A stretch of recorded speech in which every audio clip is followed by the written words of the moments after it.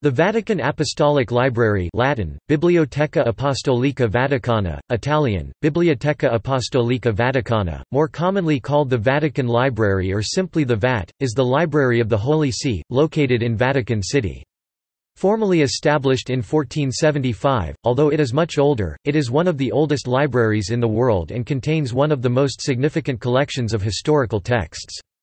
It has 75,000 codices from throughout history, as well as 1.1 million printed books, which include some 8,500 incunabula. The Vatican Library is a research library for history, law, philosophy, science and theology. The Vatican Library is open to anyone who can document their qualifications and research needs. Photocopies for private study of pages from books published between 1801 and 1990 can be requested in person or by mail.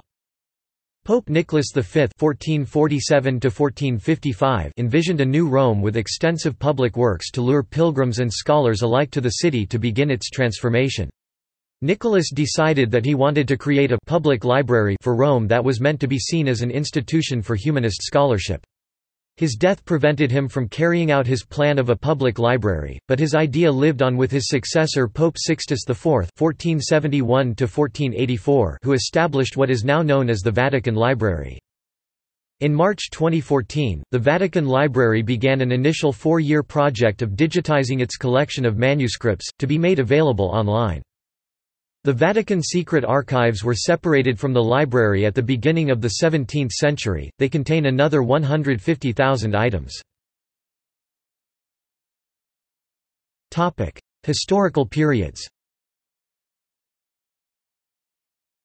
Scholars have traditionally divided the history of the library into five periods, pre-Lateran, Lateran, Avignon, pre-Vatican and Vatican. Pre-Lateran The pre-Lateran period, comprising the initial days of the library, dated from the earliest days of the Church. Only a handful of volumes survive from this period, though some are very significant. Lateran The Lateran era began when the library moved to the Lateran Palace and lasted until the end of the 13th century and the reign of Pope Boniface VIII, who died in 1303, by which time he possessed one of the most notable collections of illuminated manuscripts in Europe. However, in that year, the Lateran Palace was burnt and the collection plundered by Philip IV of France. Avignon The Avignon period was during the Avignon papacy, when seven successive popes resided in Avignon, France. This period saw a great growth in book collection and record keeping by the popes in Avignon, between the death of Boniface and the 1370s when the papacy returned to Rome.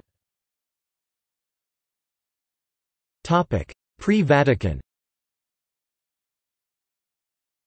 The pre-Vatican period ranged from about 1370 to 1446.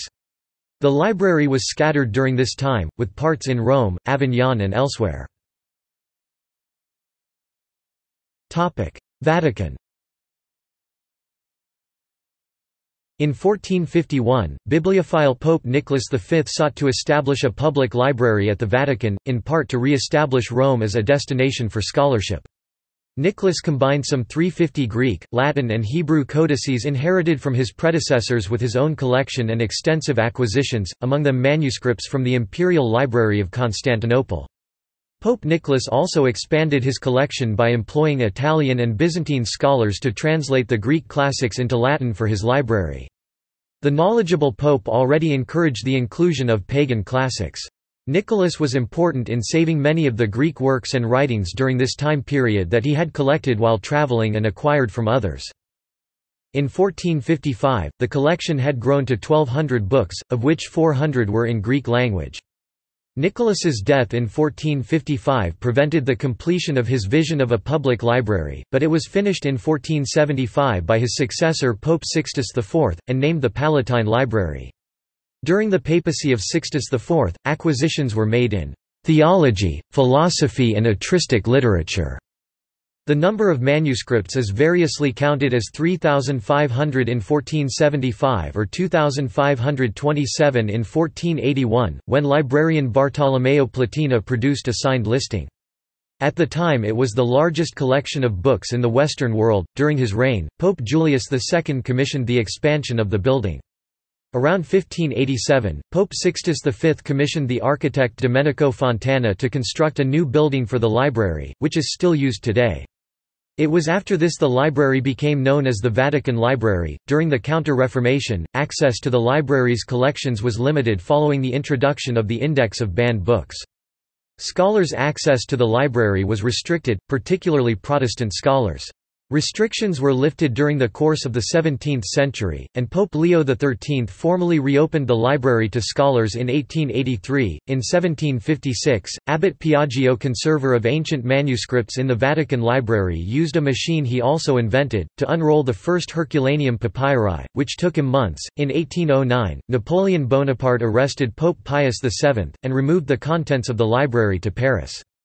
The contents were returned in 1817, three years after the defeat of Napoleon. In 1992, the library had almost 2 million catalogued items. In 1995, art history teacher Anthony Melnikas from Ohio State University stole three leaves from a medieval manuscript once owned by Francesco Petrarch.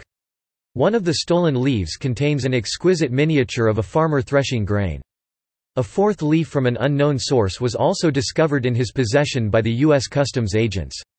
Melnikas was trying to sell the pages to an art dealer, who then alerted Father Leonard E. Boyle, the librarian director.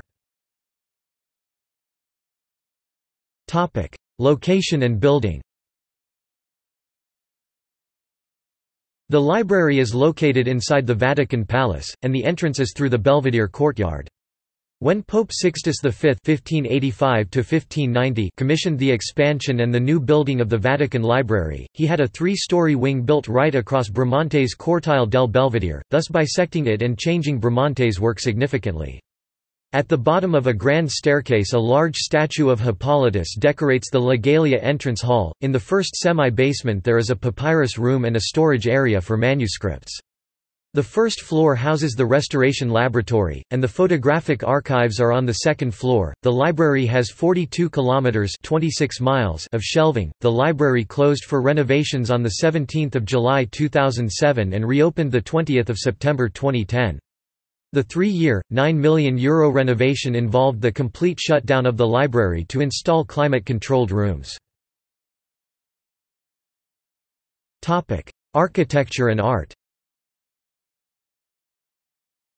In the Sala di Consultazione or main reference room of the Vatican Library looms a statue of Saint Thomas Aquinas c. 1910, sculpted by Cesare Aureli. A second version of this statue c. 1930 stands under the entrance portico of the Pontifical University of St. Thomas Aquinas, Angelicum. Library organization Catalog The collection was originally organized through notebooks used to index the manuscripts.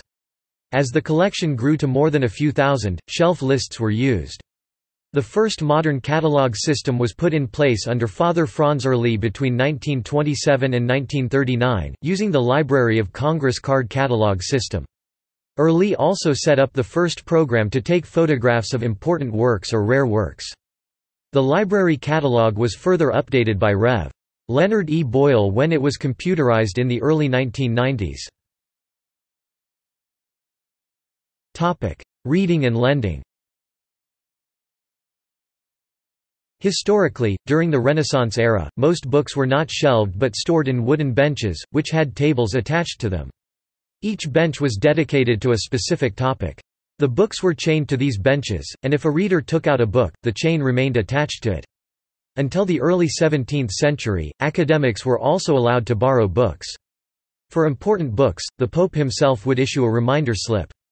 Privileges to use the library could be withdrawn for breaking the house rules, for instance by climbing over the tables. Most famously Pico della Mirandola lost the right to use the library when he published a book on theology that the papal curia did not approve of. In the 1760s, a bill issued by Clement XIII heavily restricted access to the library's holdings. The Vatican Library can only be accessed by 200 scholars at a time, and it sees 4,000 to 5,000 scholars a year, mostly academics doing postgraduate research. Collections. While the Vatican Library has always included Bibles, canon law texts and theological works, it specialized in secular books from the beginning. Its collection of Greek and Latin classics was at the center of the revival of classical culture during the Renaissance age. The oldest documents in the library date back to the 1st century. The library was founded primarily as a manuscript library, a fact reflected in the comparatively high ratio of manuscripts to printed works in its collection. Such printed books as have made their way into the collection are intended solely to facilitate the study of the much larger collection of manuscripts. The collection also includes 330,000 Greek, Roman, and papal coins and medals. Every year about 6,000 new books are acquired. The library was enriched by several bequests and acquisitions over the centuries. In 1623, the hereditary Palatine Library of Heidelberg containing about 3,500 manuscripts was given to the Vatican by Maximilian I, Duke of Bavaria who had just acquired it as booty in the Thirty Years' War in thanks for the adroit political maneuvers of Pope Gregory XV that had sustained him in his contests with Protestant candidates for the electoral seat. A token 39 of the Heidelberg manuscripts were sent to Paris in 1797 and were returned to Heidelberg at the Peace of Paris in 1815, and a gift from Pope Pius VII of 852 others was made in 1816 to the University of Heidelberg, including the Codex Manesse. Aside from that, the Palatine Library remains in the Vatican Library to this day. In 1657, the manuscripts of the Dukes of Urbino were acquired. In 1661, the Greek scholar Leo Allatius was made librarian. Queen Christina of Sweden's important library mostly amassed by her generals as booty from Habsburg Prague and German cities during the Thirty Years' War was bought by Pope Alexander VIII on her death in 1689. It represented, for all practical purposes, the entire Royal Library of Sweden at the time. If it had remained where it was in Stockholm, it would all have been lost in the destruction of the royal palace by fire in 1697. Among the most famous holdings of the library is the Codex Vaticanus Graecus 1209, the oldest known nearly complete manuscript of the Bible. The Secret History of Procopius was discovered in the library and published in 1623. Pope Clement XI sent scholars into the Orient to bring back manuscripts, and is generally accepted as the founder of the Oriental section. A school of library science is associated with the Vatican Library. In 1959, a film library was established. This is not to be confused with the Vatican Film Library, which was established in 1953 at St. Louis University in St. Louis, Missouri. The library has a large collection of texts related to Hinduism, with the oldest editions dating to 1819. During the library's restoration between 2007 and 2010, all of the 70,000 volumes in the library were tagged with electronic chips to prevent theft. Topic: Manuscripts. Notable manuscripts in the library include Illuminated manuscripts Manuscripts relating to Christianity.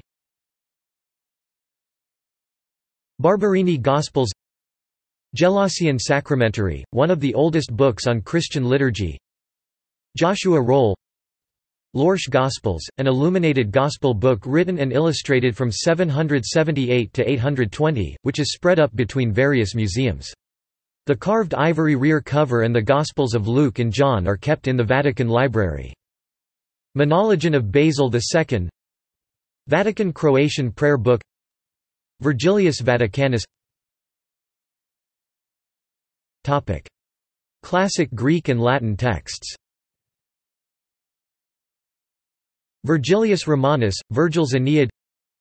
Codex Vaticanus Ottobonianus Latinus 1829, an important 14th-century manuscript of Catullus' poems Codex Vaticanus Latinus 3868, a 9th-century facsimile of Terence's Comedies.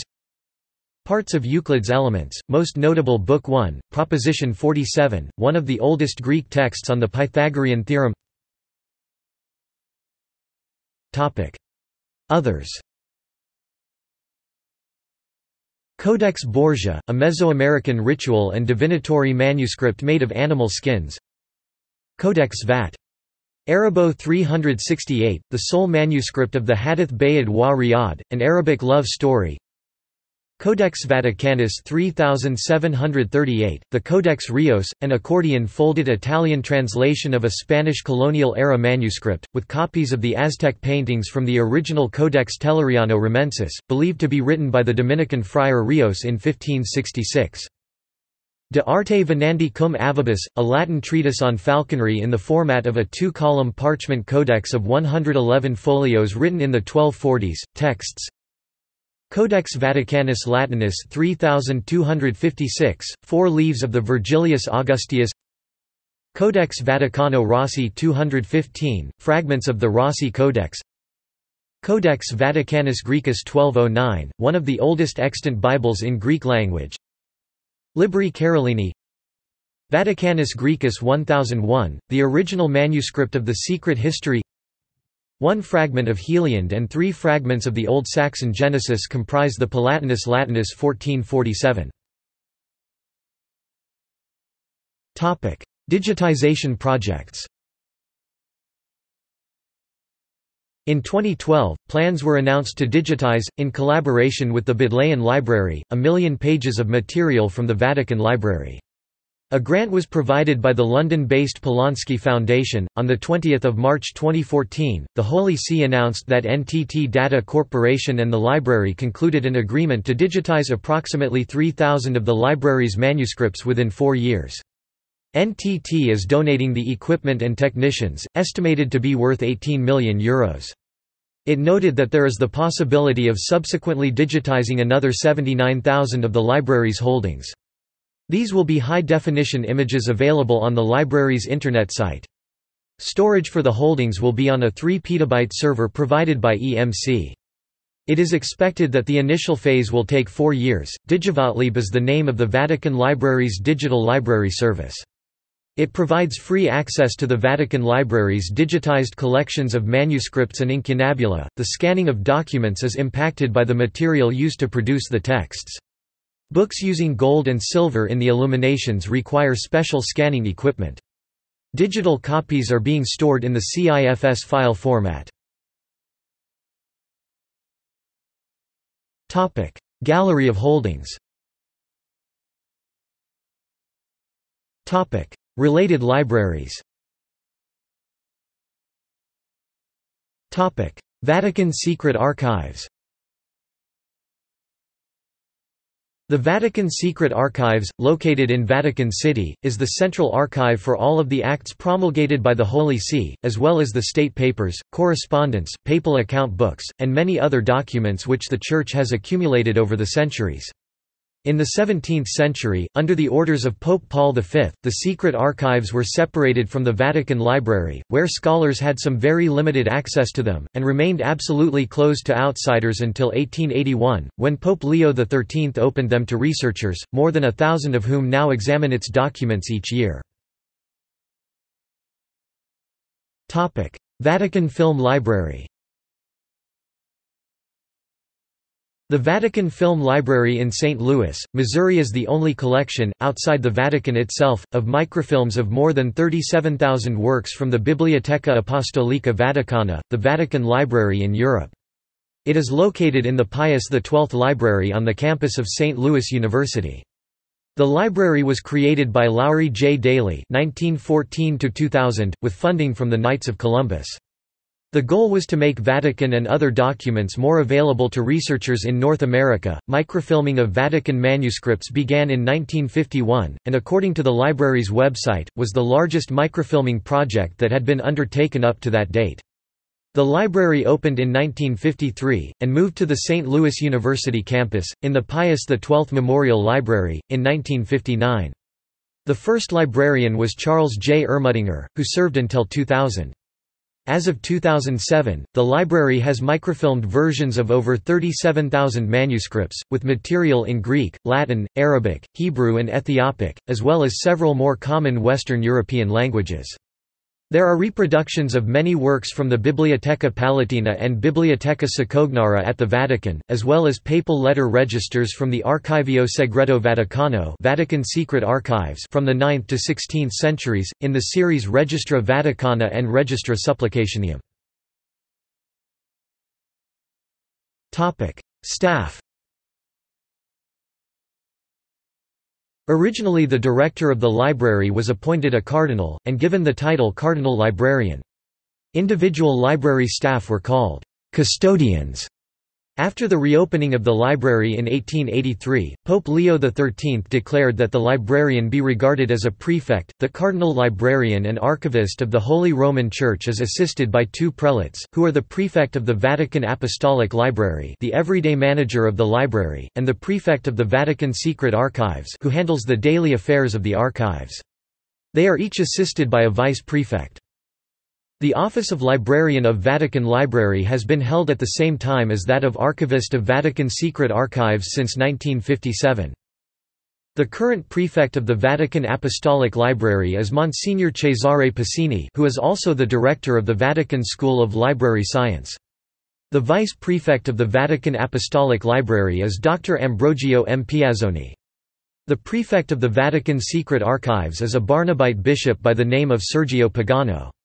The vice prefect of the Vatican Secret Archives is Father Marcel Chappin, S.J. The archives also is responsible for the Vatican School of Paleography. The library currently has 80 staff who work in five departments manuscripts and archival collections, printed books, drawings, acquisitions, cataloging, coin collections, museums and restoration, photography. List of librarians p indicates time spent as pro-librarian. This is the role of acting librarian, often a librarian who is not a cardinal. Topic see also Index of Vatican City-related articles The Vatican Splendors Vatican Secret Archives Vatican Film Library Archive of the Congregation for the Doctrine of the Faith topic Notes topic References topic Works cited Cardinals of the Holy Roman Church, Miranda, Salvador. The Cardinals of the Holy Roman Church. Florida International University Libraries. Topic further reading Rome Reborn, The Vatican Library and Renaissance Culture, an online exhibition from the Library of Congress. Vatican to digitize Apostolic Library of 1.6 million volumes for general perusal, pcworld.com, 29 October 2002. A joint effort between the Vatican and Hewlett-Packard.